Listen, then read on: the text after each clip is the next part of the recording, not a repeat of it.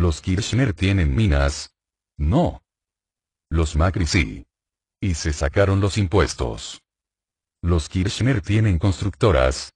No. Los Macri sí. Y se otorgaron el 90% de las licitaciones. Los Kirchner tienen concesionaria de autos importados. No. Los Macri sí. Y los autos importados no pagan impuestos. Los Kirchner tienen peajes. No. Los Macri sí. Y aumentaron un 120%. Los Kirchner tienen campo. No. Los Macri sí. Y no pagan impuestos. Los Kirchner manejan parte de la industria de alimentos.